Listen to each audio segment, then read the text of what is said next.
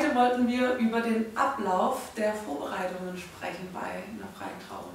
Was machst du, äh, was musst du vorbereiten? Wie äh, laufen die Gespräche mit den Brautpaaren ab und so weiter? Wie funktioniert das? Also ähm, zuallererst äh, gibt es ein eine erste Verbindung zueinander. Also meistens werde ich irgendwie angefragt über meine Homepage oder so mhm. oder tatsächlich auch über die sozialen Netzwerke immer mehr. Ähm, und dann mache ich ganz schnell ein Kennenlerngespräch aus. Ich habe schon mal erwähnt, dass ich bei Paaren, die sehr weit entfernt wohnen, auch Kennenlerngespräche über Skype oder per Telefon mache. Mhm. Ähm, am liebsten aber natürlich live. Ähm, meistens trifft man sich in einem Café und ähm, quatscht einfach ganz unverbindlich und schaut, ob, ob man gut zueinander passt, ob das in Ordnung ist und dann gebe ich den Paaren nochmal Bedenkzeit und sage, ihr müsst euch nicht stressen, der Termin ist erstmal für euch geblockt. Ähm, Wie lang? Das ist unterschiedlich. Also ich sage so, eine Woche ist der Termin auf jeden Fall geblockt. Und sobald ich eine andere Anfrage für diesen Termin bekomme, setze ich mich mit dem Paar nochmal in Verbindung und sage, ich habe jetzt eine andere Anfrage. Wie schaut es aus? Wie schaut's aus? Ähm, aber die meisten Paare sagen innerhalb der nächsten zwei Tage zu oder, zu oder ab. Meistens tatsächlich zu. Also ich, ich glaube, wenn man, ähm, wenn man sich schon, wenn man schon so weit ist, dass man sich wirklich privat getroffen hat, dann ich glaube, dann, dann passt es meistens schon, weil du, du siehst ja ganz viel von dem anderen schon in den sozialen Netzwerken und so. Du ja. merkst schon, oder am Telefon auch, wenn man sich verabredet oder so das erste klärt, dann du merkst schon, funktioniert das oder nicht. Ja. Ähm, also es gibt, wenn man sich getroffen hat, ganz wenige Absagen. Ähm, dann, wenn das Paar sich für mich entschieden hat, dann gibt es einen Vertrag. Mhm. Ähm, ich mache alles mit Vertrag, einfach damit jeder abgesichert ist, beide Seiten abgesichert sind. Ähm, in dem Vertrag ist eigentlich alles drin, was man vorher schon besprochen hat. Der ist ganz leicht verständlich und so, nicht Paragraph irgendwas oder keine Ahnung. 20 Seiten. Genau, 20 Seiten lang. Und ähm, wenn der Vertrag unterschrieben zurückgekommen ist, dann gibt es ähm, diesen Fragebogen, den ich an beide, ähm, also an, an den Bräutigam und an die Braut schicke und die sie bitte separat ausfüllen. Das ist zum einen gut, damit ich einen ersten Einblick in die Beziehung habe. Das sind so fünf, sechs, sieben Fragen. Und zum anderen ziehe ich da eben diese kleinen Sachen raus, die ich dann vielleicht als Überraschung für den anderen noch in die Rede einbauen kann. Ähm, es gibt meistens ein, also es gibt eigentlich immer ein Willkommenspäckchen von mir. Also ich bastel dann auch was und so. Sie mir sagen nicht, was es ist? Nein, sie sagen nicht, was es ist, weil es eine Überraschung sein. Manchmal, meistens bin ich, weil es tatsächlich alles irgendwie so gebastelt ist und selbst, also nicht alles gebastelt ist, aber alles selbst beschriftet und so und dann muss man das irgendwie einpacken. Meistens bin ich mit diesen Päckchen weit im Verzug, aber irgendwann kommen sie immer an. Ja, Vor der Hochzeit kommen sie auf jeden Fall immer an.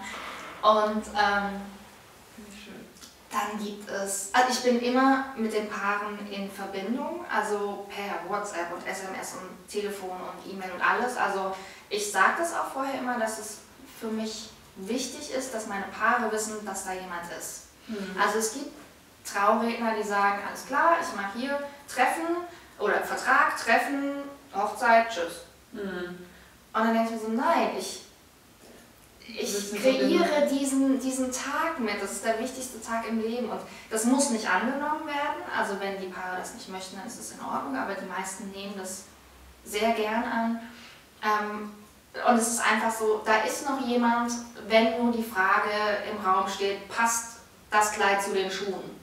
Ich mache das genauso. Ich finde eigentlich so alle Wochen. Ja, und so, guck mal, ich habe mein Kleid gefunden und dann kribbelt es schon im Bauch und ich denke so, oh, schön toll. Und, so toll aus. Oder soll an das Kleid noch das oder das mit dran? Und ich, ah, also ich finde, also es ist so schön, das gibt mir auch ganz viel.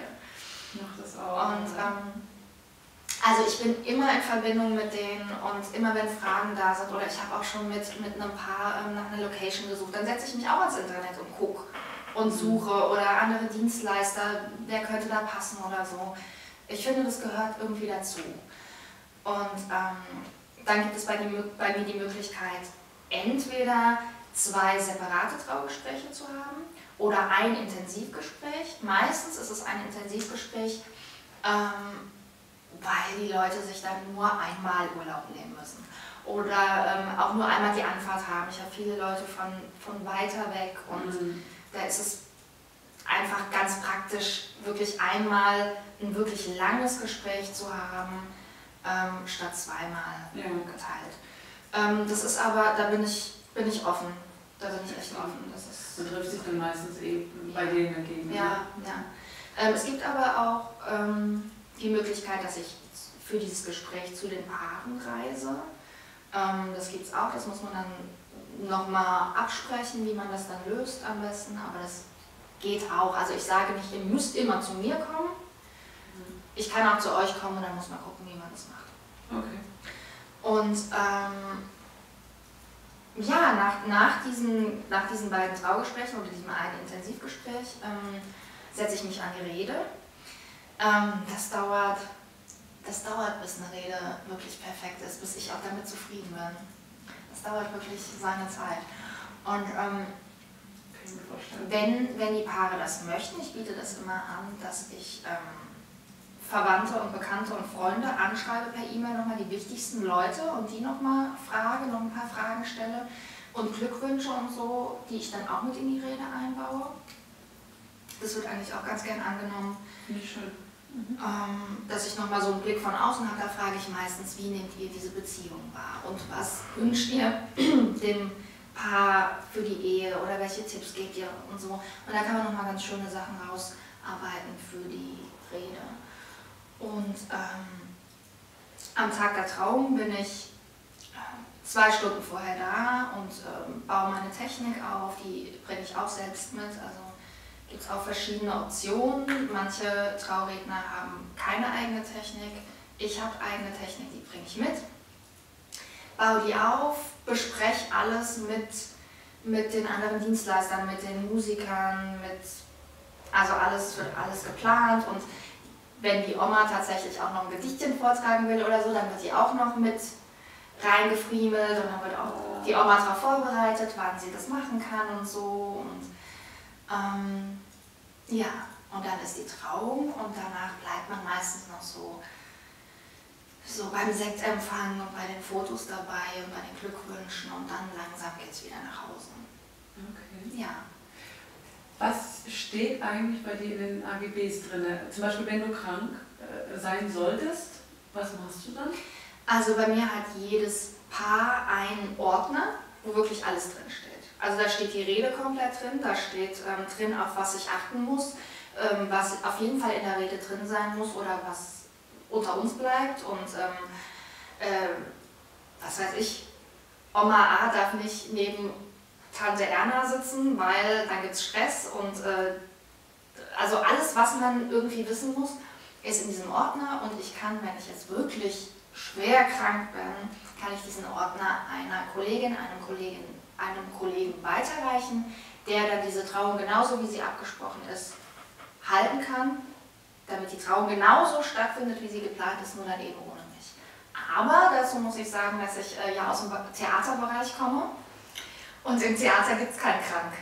Weil wenn du im Theater krank bist, dann ähm, so ein, ein ausgefallenes Theaterstück kann dann gern mal 15.000, 20.000 Euro Schaden mit sich bringen.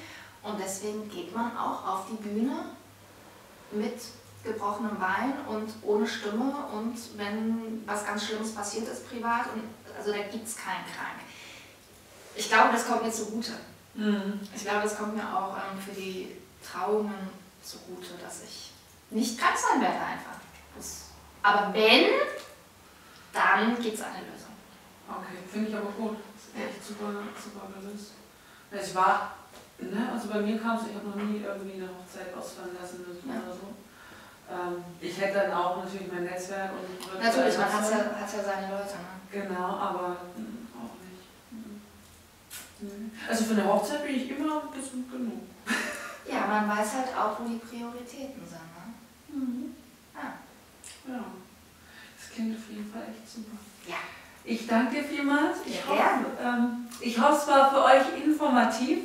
Und falls ihr noch Fragen zum Ablauf habt, ähm, ihr könnt uns uns gerne schreiben. Ich glaube, die Iris beantwortet es jederzeit noch gerne. Alle Fragen. Genau, und wenn ihr noch auf der Suche seid, ihr wisst ja, ihr könnt uns anschreiben ähm, und die Iris auch gerne buchen. Und wir freuen uns schon äh, aufs nächste Mal. Bis bald. Come with me, girl. I know a place where the green grass grows in a sunny embrace, and we can get away.